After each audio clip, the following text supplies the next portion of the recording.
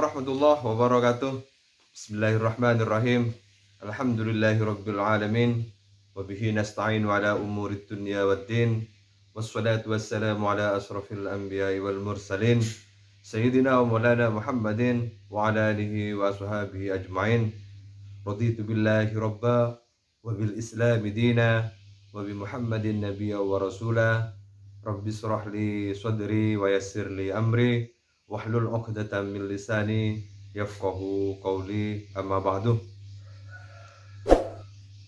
Selamat datang para mahasiswa baru Universitas Islam Malang. Saya ucapkan selamat menjadi keluarga besar Universitas Islam Malang. Semoga keberkahan dan kemanfaatan selalu menyertai kehidupan kita dalam proses tolabul ilmi di kampus tercinta ini. Semoga kita semua senantiasa dalam keadaan sehat dan terus menjaga kesehatan di dalam pandemi COVID-19 ini. Semoga kita semua terhindar dari virus corona. Teman-teman mahasiswa semua, selamat datang di Fakultas Ilmu Administrasi. Selamat datang di Fakultas Keguruan dan Ilmu Pendidikan karena saya selaku pengampu mata kuliah Pancasila di dua fakultas dan tiga jurusan. Di Fakultas Ilmu Administrasi ada dua jurusan, Ilmu Administrasi Negara dan Ilmu Administrasi Bisnis. Dan yang ketiga adalah di Fakultas Keguruan dan Ilmu Pendidikan di jurusan Pendidikan Bahasa Inggris.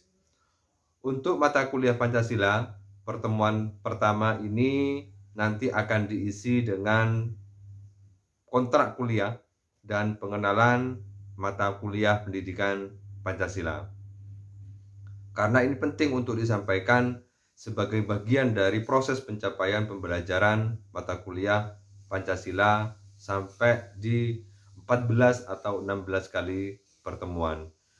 Kami berharap teman-teman, saudara-saudara semua bisa mengikuti dengan baik sekalipun kondisinya harus daring harus virtual nanti kita akan menggunakan berbagai aplikasi untuk mendukung proses pembelajaran.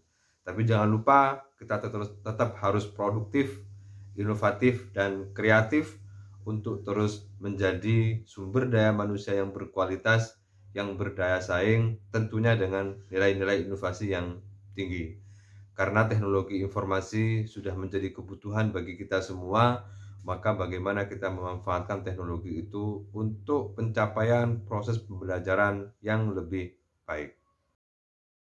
Kuliah Pendidikan Pancasila atau mata kuliah wajib umum Pancasila, pertemuan pertama ini sesuai dengan apa yang sudah saya sampaikan tadi adalah kontrak kuliah dan pengenalan mata kuliah serta pencapaian yang ingin dicapai dalam proses perkuliahan.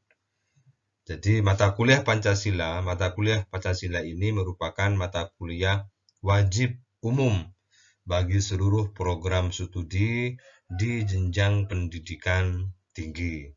Sehingga setiap program studi itu harus memasukkan mata kuliah Pancasila sebagai mata kuliah wajib. Oleh karena itu, ini sebagai ikhtiar negara untuk mengamalkan nilai-nilai Pancasila di dalam kehidupan kita sehari-hari, di dalam berbangsa, bernegara, dan bermasyarakat. Sehingga tujuan dalam proses penilaian, dalam proses pengamalan nilai-nilai Pancasila itu adalah sesuai dengan tujuan yang diharapkan oleh bangsa dan negara ini yang tercantum di dalam sila-sila Pancasila. Oleh karena itu, nanti akan saya jelaskan secara rinci tentang bagaimana proses pembelajarannya, tugasnya apa, kemudian apa saja yang perlu dilakukan dalam proses pendidikan Pancasila, serta tema-tema atau materi apa saja yang akan disampaikan di dalam perkuliahan Pancasila. Saya berharap teman-teman, sahabat-sahabat mahasiswa semester 1 di program ilmu administrasi publik, ilmu administrasi bisnis, dan pendidikan bahasa Inggris ini bisa mengikuti proses perkuliahan yang insya Allah akan menggunakan minimal atau di antaranya empat aplikasi. Yang pertama adalah aplikasi Zoom atau Google Meet atau pakai WA atau pakai channel YouTube saya. Sehingga nanti aplikasi-aplikasi ini menjadi alat, menjadi tool bagi kita di dalam proses pembelajaran mata kuliah Pancasila. Karena untuk mencapai pada tujuan yang diharapkan di dalam mata kuliah Pancasila ini, tentu di masa-masa pandemi COVID-19 seperti ini, kita berikhtiar semaksimal mungkin, berusaha seoptimal mungkin untuk terus produktif, terus bisa berkreasi di dalam proses pembelajaran agar pencapaian tujuan pembelajaran bisa berjalan dengan baik sesuai dengan harapan kita bersama. Sebelumnya saya ingin memperkenalkan diri saya sendiri. Nama saya adalah Dr. Hayat SAP MSI. Saya S1 Sarjana Administrasi Publik atau SAP. Saya berasal dari eh, S1 Administrasi Negara atau Administrasi Publik. Saya alumni program studi ilmu administrasi negara angkatan 2002 lulus 2007 di program studi ilmu administrasi publik Universitas Islam Malang. Kemudian saya S2 di tahun 2009 sampai 2012 dengan keilmuan yang sama di Magister Administrasi Publik tetapi gelarnya adalah Magister Sains karena masuk masih masuk ke dalam Magister Sains dulu. Saya S2-nya di Universitas Merdeka Malang. Kemudian melanjutkan di program doktor pada tahun 2016 dan alhamdulillah lulus tahun 2020 di keilmuan yang sama yaitu program doktor Ilmu Administrasi Publik di Universitas Brawijaya Malang dengan program beasiswa beasiswa unggulan dalam negeri atau BUDIDN tahun 2016 dan alhamdulillah sudah uh, lulus tahun 2020 kemarin. Tinggal menunggu wisuda. Ini adalah komponen yang mungkin penting untuk saudara dan teman-teman catat sebagai bagian dari profil saya. Yang pertama ini ada email, ada email pribadi, kemudian ada email institusi, kemudian ada media sosial, FB nama FB saya itu Kang Hayat kemudian di Twitter saya juga namanya Kang Hayat kemudian di Instagram saya juga ada namanya Kang Hayat kemudian di channel YouTube saya juga aktif di channel YouTube walaupun masih belum menjadi YouTuber itu silakan nanti bisa dicatat juga sebagai bagian dari proses pembelajaran yang akan saya pakai salah satunya adalah akun YouTube karena uh, lebih permanen dan bisa dimanfaatkan oleh banyak orang serta bisa dipelajari oleh teman-teman mahasiswa kapan saja tidak terbatas oleh ruang dan waktu. Kemudian ada WA. Silakan nanti yang bisa dikomunikasikan berkaitan dengan mata kuliah ini penting untuk bisa kita jalin secara bersama-sama. Sehingga saya memberikan alamat email kemudian media sosial saya karena juga insya Allah saya aktif di beberapa media sosial sebagai bagian dari uh, penyesuaian kita terhadap kebutuhan media sosial dalam perspektif positif yang kemudian itu bisa menuangkan segala bentuk ide dan gagasan kita, bisa memberikan sebuah inspirasi bagi banyak orang, bisa memberikan motivasi bagi banyak orang, itu sungguh menjadikan media sosial itu sangat sangat bermanfaat. Silakan bagi teman-teman saudara-saudara semua yang punya media sosial, saya terbuka. Saya fair, silakan kalau mau di apa mau di uh, confirm, mau di add, monggo. Insya Allah akan saya konfirmasi ketika melalui proses screening yang cukup ya ketat lah. Karena saya tidak mau uh, ada orang-orang yang pengen kenalan tetapi hanya dengan main-main. Tidak ada unsur uh, kemanfaatan. Sehingga ini menjadi penting untuk saya sampaikan. Kemudian yang nomor tiga itu alamat uh, karya saya di beberapa tool uh, pengindeks walaupun ini sebenarnya bukan indeks tapi penyedia layanan penyimpanan uh, apa file file file publikasi saya. Ada Resergit kemudian ada Akademia Edu ada Google Scholar benar ada satu lagi itu namanya scopus.com itu bisa ditelusuri karya-karya dosen termasuk ada juga uh, apa ID Orsit dan seterusnya. Nanti silakan bisa di cross check sendiri. Itu ada semua. Jadi kalau teman-teman saudara-saudara pengen tahu publikasi atau karya-karya dosen silakan bisa ditelusuri di nomor 3 itu. Bisa di resergate-nya bisa di akademia edu-nya bisa di Google Scholar-nya. Atau bisa di scopus.com-nya atau di ID Orsit-nya juga bisa. Atau di Sinta juga bisa banyak. Kemudian yang nomor dua itu alamat rumah. Alamat rumah saya. Saya berada di Jalan Sampurna nomor 48 RT 3 RW 1 Kelurahan Cemoro Kandang, Kecamatan Kedung Kandang, Kota Malang.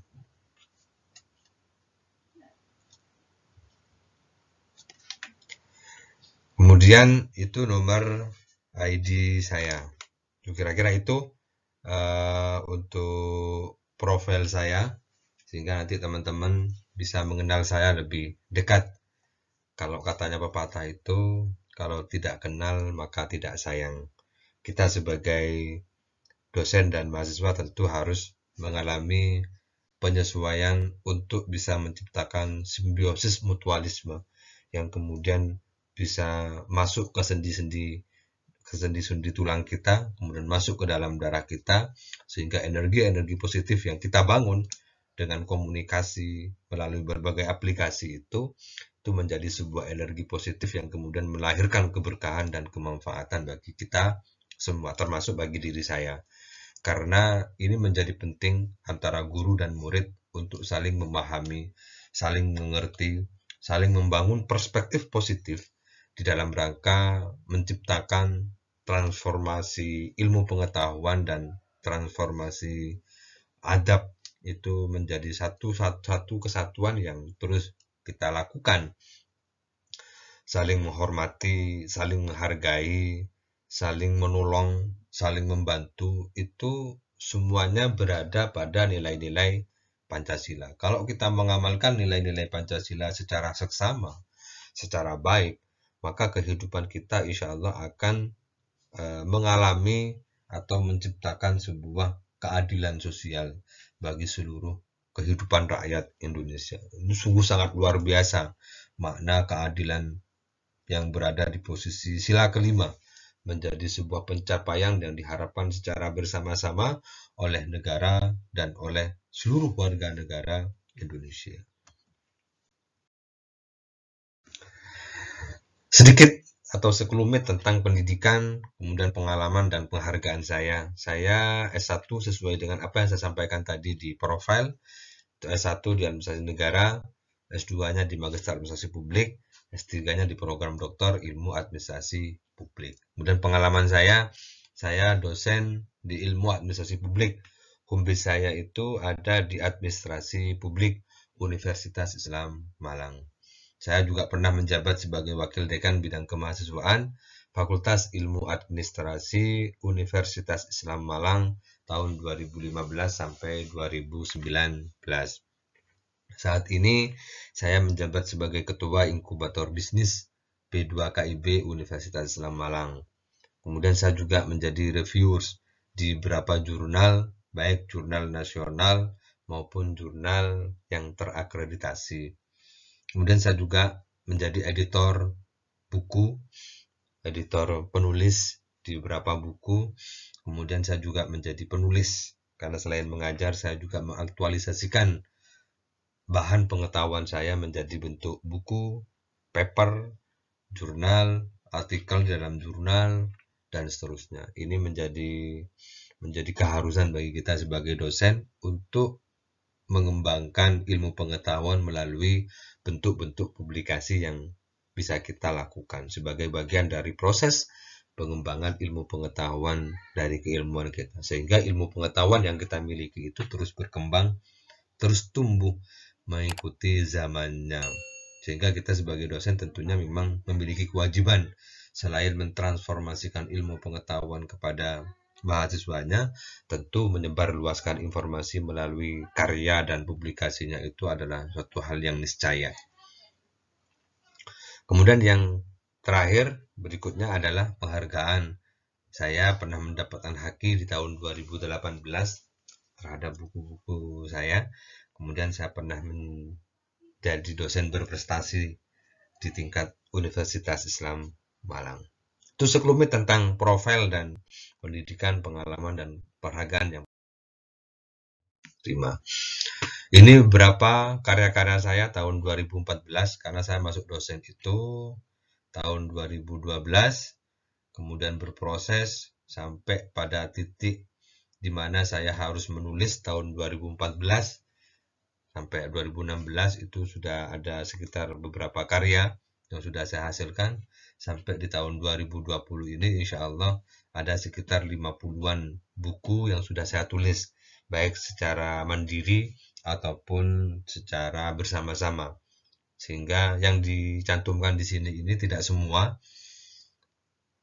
Tahun 2020 itu ada sebagian yang saya tidak masukkan termasuk tahun 2019 ini karya-karya buku saya sebagai bagian dari proses awal untuk menyemangati teman-teman mahasiswa agar kita terus bisa kreatif, inovatif, dan berkarya dalam kondisi dan situasi apa pun.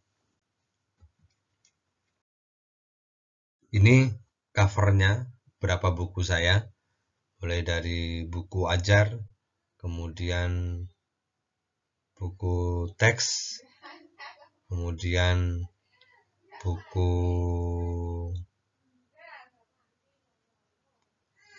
Monograf juga ada.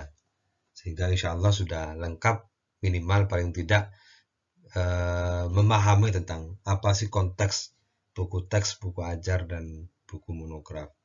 Saya berharap teman-teman mahasiswa juga harus punya impian dan punya harapan untuk membudayakan literasi di lingkungan kita masing-masing termasuk di lingkungan kampus, di lingkungan kelas, di lingkungan keluarga, nilai-nilai literasi itu memang perlu untuk dibangun karena nilai-nilai literasi itu menjadi bagian penting di dalam proses pencapaian kualitas sumber daya manusia. Kalau literasinya kuat, maka hoax itu secara otomatis bisa ditangkal dengan sendirinya, bisa di screening dengan sendirinya. Minimnya literasi itu juga menciptakan sebuah informasi-informasi yang tidak baik, informasi-informasi palsu, informasi-informasi negatif.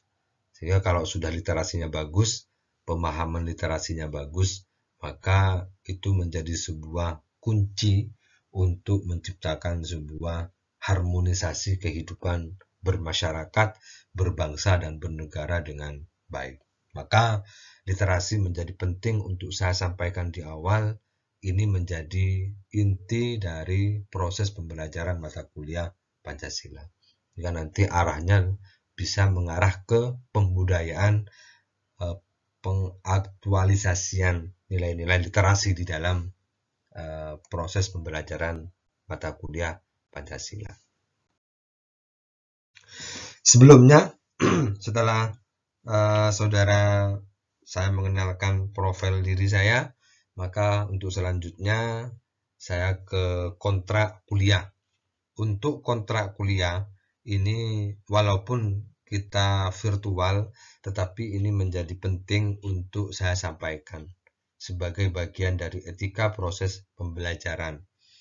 Jadi kontrak kuliah ini uh, sistem yang kita sepakati bersama, yang saya tawarkan untuk kemudian saudara bisa menilai atau bisa menjalankan secara bersama-sama. Yang pertama, pakaian rapi dan sopan dalam proses perkuliahan, terutama ketika Zoom atau Google Meet. itu penting atau ketika misalnya tidak langsung berhadapan atau tidak langsung menggunakan virtual zoom atau misalnya menggunakan WA atau menggunakan uh, YouTube itu kalau bisa diusahakan tetap dalam proses perkuliahan di mata kuliah apa pun menggunakan pakaian rapi dan sopan itu sebagai bagian dari menghormati ilmu pengetahuan. Kalau kita ikut kuliah dalam kondisi dan situasi apa pun dengan berpakaian rapi dan sopan, maka saya yakin ilmu pengetahuan itu akan uh, bisa menerima penghormatan dari kita, baik sebagai dosen ataupun sebagai mahasiswa. Yang kedua, absensi nanti berdasarkan kehadiran dalam forum kuliah, baik menggunakan Google Meet, menggunakan Zoom, menggunakan WA, atau menggunakan YouTube, tetap ada absensi yang harus dilakukan oleh mahasiswa di dalam kolom komentar YouTube, di dalam kolom komentar Google Meet atau Zoom, atau di dalam forum kuliah menggunakan WA. Sistem pembelajarannya menggunakan aplikasi Zoom seperti yang saya sampaikan tadi, Google Meet, WhatsApp, dan YouTube. Kemudian nanti akan dibuat penugasan individu dan kelompok. Ini dikumpulkan atau biasanya kalau di di era-era normal biasanya dikumpulkan di UTS atau UAS. Nanti kelompoknya tidak 11 tetapi 10 saja nanti ada penugasan di akhir pertemuan ini nanti akan saya sampaikan untuk perkuliahan kelompok setiap kelas itu dibagi 10 kelompok. Kemudian yang terakhir, untuk penilaian mata kuliah pendidikan Pancasila atau Pancasila, penilaiannya berdasarkan tugas, baik tugas individu dan tugas kelompok, absensi, UTS, dan UAS. Ini kontrak kuliah kita. Jadi silakan bisa diperhatikan dan bisa dijalankan secara bersama-sama sebagai bagian dari konsekuensi kita di dalam mengikuti proses perkuliahan. Ini kontrak kuliahnya.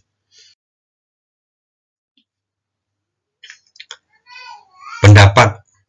Nah, setelah saya menjelaskan profil, kemudian menjelaskan uh, tentang kontrak kuliah, maka silakan teman-teman mahasiswa memberikan pendapat di kolom komentar channel YouTube ini tentang persetujuan kontrak kuliah.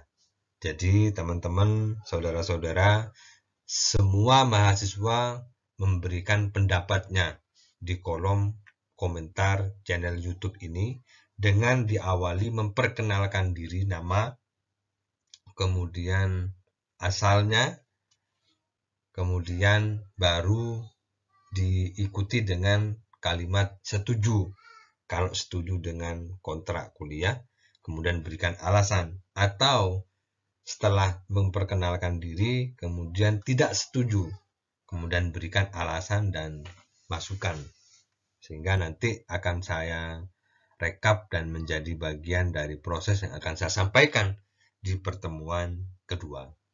Sehingga untuk memberikan pendapat atau komentar di kolom komentar channel YouTube. Silakan saudara-saudara bisa semuanya mahasiswa untuk bisa memberikan uh, pendapatnya di kolom komentar. Oke, kemudian kita masuk ke sistem pembelajaran. Sistem pembelajaran mata kuliah Pancasila ini akan dilakukan dengan lima tahap.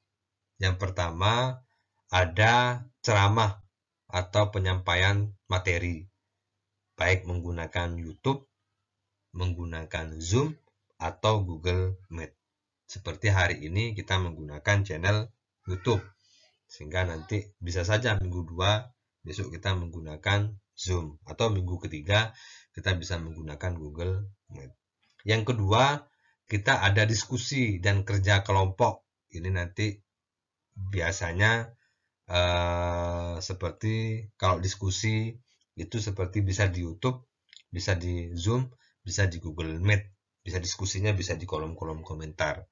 Tapi kalau kerja kelompok nanti ini seperti misalnya uh, membuat uh, tugas kelompok itu juga bisa menggunakan aplikasi yang lain silakan bisa video call atau aplikasi Zoom juga bisa dengan teman-teman kelompoknya. Tetapi kerja kelompok ini juga menjadi penting untuk dilakukan sebagai bagian dari penguatan kita dalam memahami gotong royong, kerjasama, saling membantu sebagai bagian dari pengamalan nilai-nilai Pancasila itu menjadi penting untuk bisa di, disampaikan atau dilakukan oleh mahasiswa. Kemudian yang ketiga adalah penugasan kelompok dan individu sebagai bagian dari proses pembelajaran mandiri dan kelompok. Nanti ada tugas. Tugas kelompok seperti di awal sudah saya sampaikan, misalnya membuat presentasi, bahan presentasi dari tema-tema yang sudah disiapkan. Atau tugas mandiri, misalnya membuat opini atau membuat uh, konten pembelajaran sesuai dengan tema yang sudah ditetapkan. Tuh. Kemudian yang keempat, tugas individu itu membuat konten video pembelajaran. Ini pembelajaran terkait dengan mata kuliah Pancasila. Kemudian tugas kelompok adalah mempresentasikan eh, tema-tema yang sudah ditentukan. Oleh karena itu nanti akan dibuat kelompok, kemudian dibagi temanya, termasuk yang tugas individu akan juga disampaikan. Yang pertama, ceramah menggunakan aplikasi Zoom, Google Meet atau YouTube yang berisi tentang materi kuliah, diskusi kelompok, penyampaian informasi tentang perkuliahan, dan penguatan pemahaman terkait mata kuliah. Jadi nanti untuk sistem ceramah ini akan diberikan materi-materi yang berkaitan dengan materi Pancasila.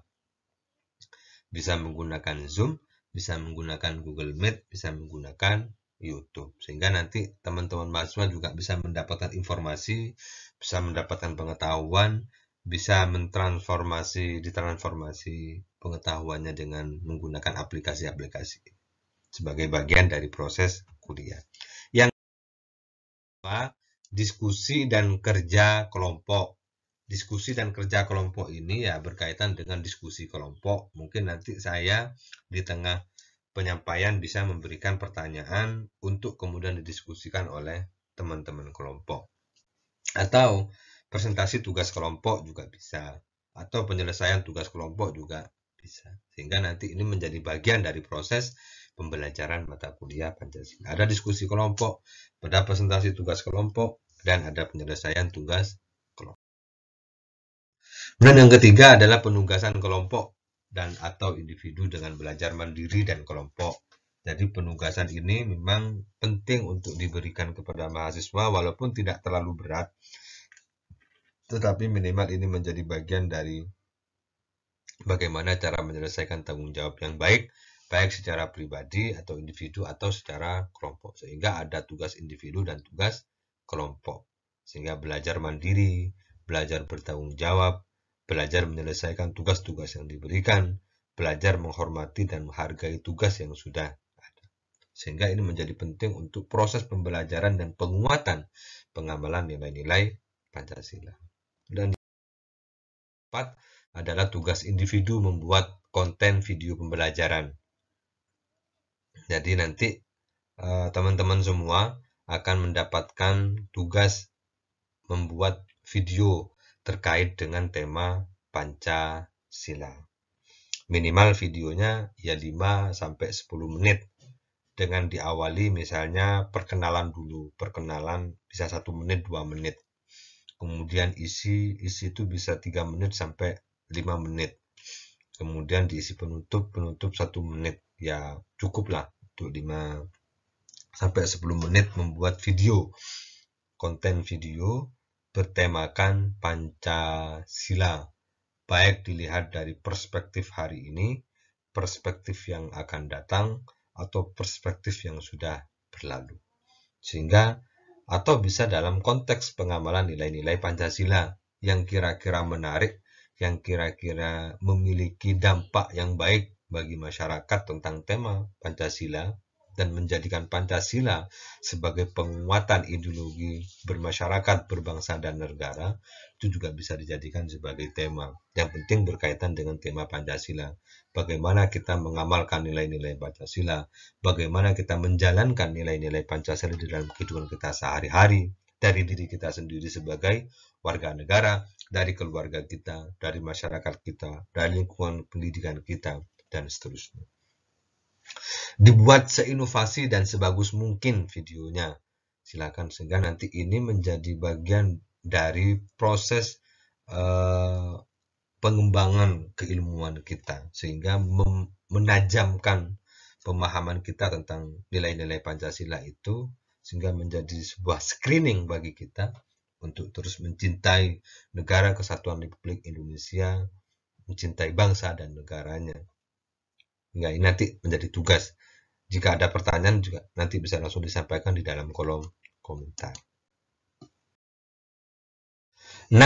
Tugas kelompok presentasi tugas kelompok dengan pembelajaran kelompok. Nanti untuk tugas kelompok ini sesuai dengan kelompoknya masing-masing akan mendapatkan tema sesuai dengan kelompoknya.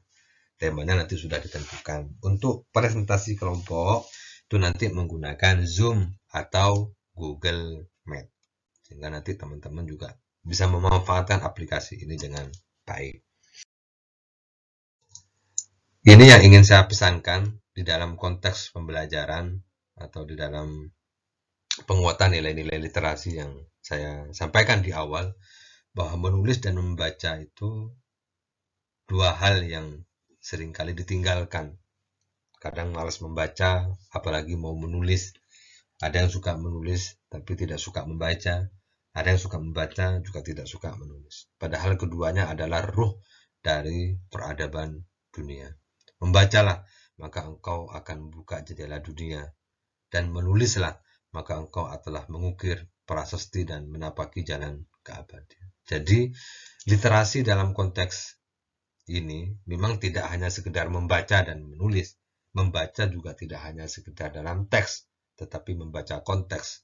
Penulis pun juga sama, tidak hanya menulis dalam aspek konteks, tidak, tidak hanya dalam menulis dalam aspek teks, tetapi juga menulis dalam aspek konteks. Maka dua hal ini menjadi ruh dari kehidupan kita sebagai masyarakat ilmiah yang berada di dalam uh, dunia pendidikan tinggi. Sehingga mengusahakan, mengoptimalkan, memaksimalkan kesempatan yang ada untuk bisa banyak membaca, membaca alam, membaca kehidupan, membaca teks, atau menulis menulis teks, menulis konteks, menulis kehidupan kita menjadi penting sebagai prasasti dan jalan keabadian bagi Oke, kemudian kita masuk ke pengenalan mata kuliah pendidikan Pancasila. Pada perkuliahan pendidikan mata kuliah wajib umum Pancasila ini akan membahas 12 aspek. Yang pertama 11 aspek. Yang pertama adalah Pancasila dalam lintasan sejarah. Pancasila dalam lintasan sejarah. Ini akan berbicara tentang bagaimana Pancasila itu tumbuh dan berada dalam lintasan sejarah bangsa dan negara kita. Mulai dari prasejarah, kemudian masuk ke sejarah kerajaan sampai kemerdekaan, kebangkitan nasional, dan seterusnya. Itu akan dibahas dan diulas. Nanti itu akan mengulas tentang bagaimana perjalanan Pancasila dalam lintasan sejarah. Kemudian yang kedua akan membahas tentang pengertian Pancasila dan perkembangannya sampai hari ini. Apa sih Pancasila itu? Bagaimana Pancasila itu? Dan perkembangannya seperti apa? Kemudian yang ketiga, Pancasila sebagai ideologi negara. Ini juga perlu ditekankan dan disampaikan kepada seluruh mahasiswa bahwa penyampaian atau pemberian informasi kepada mahasiswa tentang Pancasila sebagai ideologi negara itu menjadi penting agar memiliki kekuatan pemahaman terhadap ideologi negara. Kemudian Pancasila sebagai sistem filsafat. Pancasila juga sudah juga bisa menjadi bagian Pancasila juga menjadi bagian dari sistem filsafat. Jadi tidak hanya sekedar berdiri sendiri tetapi ia lahir dari sistem filsafat yang ada di negara kita. Pancasila juga bisa menjadi sebagai bagian dari sistem etika politik. dalam kehidupan bermasyarakat, berbangsa, dan bernegara, Pancasila menjadi pegangan dan pondasi penting di dalam etika-etika politik. Pengambilan kebijakan, pengambilan keputusan, menjalankan implementasi kebijakan, dan seterusnya. Itu menjadi berlandaskan kepada nilai-nilai Pancasila. Kemudian hubungan agama dan Pancasila ini juga eh, baik untuk disampaikan karena mata kuliah ini adalah mata kuliah yang memang memiliki muatan lokal di Universitas Islam Malang. Maka penting untuk uh, menyampaikan hubungan agama dan Pancasila. Kemudian Pancasila sebagai paradigma kehidupan dalam bermasyarakat, berbangsa, dan bernegara.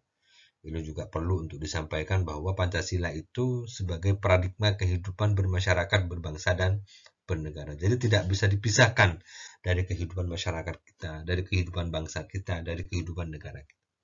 Pancasila itu menjadi paradigma dan kemudian diimplementasikan di dalam kehidupan kita sehari-hari.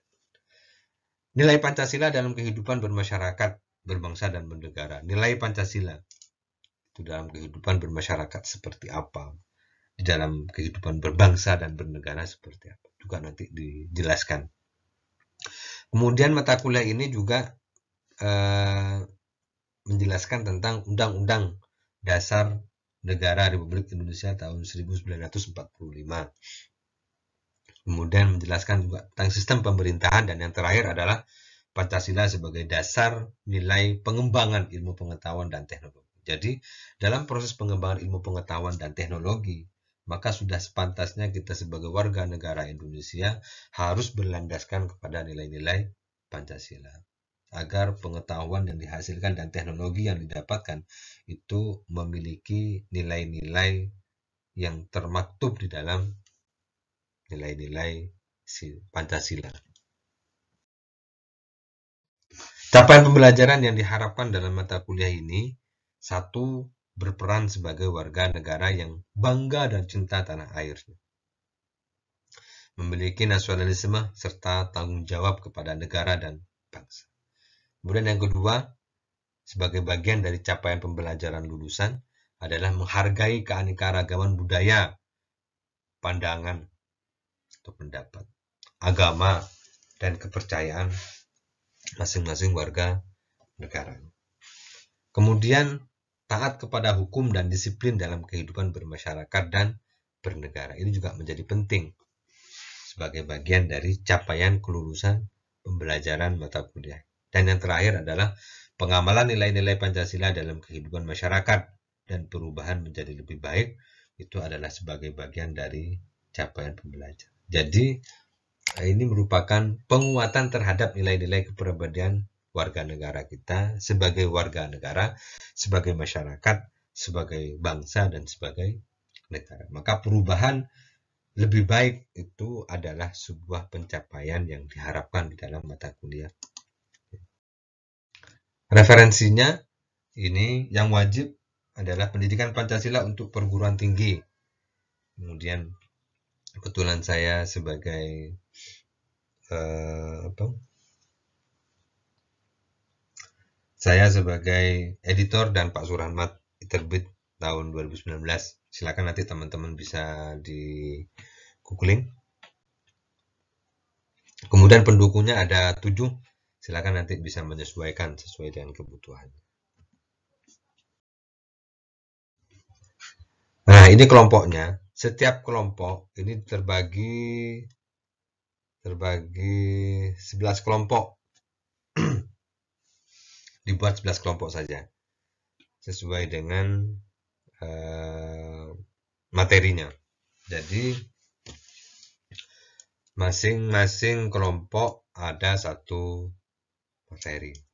Jadi ini kelompoknya, silakan nanti ketua kelas membagi kelompoknya sendiri, siapa saja kelompoknya siapa, kemudian diatur dan distorkan ke saya melalui WA. Nah, untuk diskusi hari ini, silakan teman-teman bisa uh, menuliskan di dalam kolom komentar, memberikan pandangan masing-masing mahasiswa harus memberikan pandangan. Memberikan pandangan dan pendapatnya tentang pengamalan nilai-nilai Pancasila pada masa sebelum kemerdekaan atau prasejarah. Masa sejarah atau sebelum kemerdekaan. Pasca kemerdekaan kebangkitan nasional orde lama dan orde baru atau sekarang bisa bisa dipilih. Salah satunya tentang bagaimana pengamalan nilai-nilai Pancasila di dalam proses Pancasila dalam lintasan sejarah itu seperti apa silakan nanti teman-teman bisa memberikan pendapat atau komentarnya di kolom komentar channel YouTube ini. Wajib memberikan pendapatnya sehingga nanti saya pengen tahu mahasiswa itu seaktif seperti apa. Pendapat dan komentar silakan bisa secara jelas dan konkret. Itu diskusinya sambil nanti seminggu ke depan ini kita diskusi tentang ini yang didiskusikan di dalam kolom komentar channel YouTube. Kira-kira itu untuk pertemuan hari ini. Terima kasih, semoga bermanfaat. Silakan terus produktif dan kreatif di dalam proses pembelajaran semua mata kuliah yang saudara ampuh hari ini, yang saudara tempuh hari ini. Semoga memberikan kemanfaatan dan keberkahan bagi kita semua. Terima kasih. Walafu minkum. Wallahul muwafiq ila Assalamualaikum warahmatullahi wabarakatuh.